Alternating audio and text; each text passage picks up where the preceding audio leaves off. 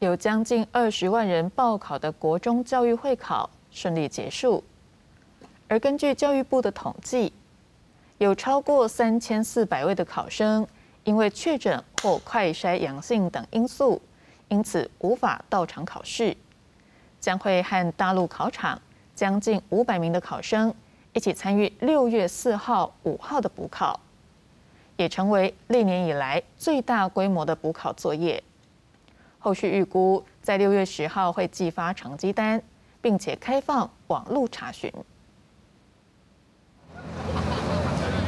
国中教育会考二十二号正式落幕，有些考生已经开始计划考完以后要做什么。超轻松，落掉很多，但后来就好好复习就好，出去玩吧，就是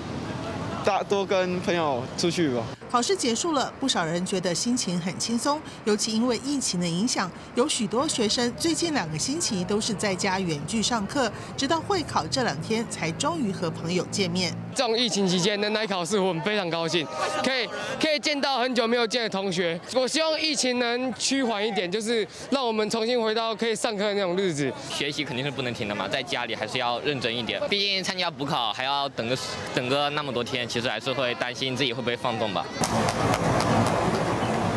围场起围，事务人员结束两个星期的入围，拉着行李离开。今年是一零八新课纲的第一届考生，又加上国内疫情严峻，也让这次会考备受挑战。比如说，同一个科目里面呢，啊，能够中整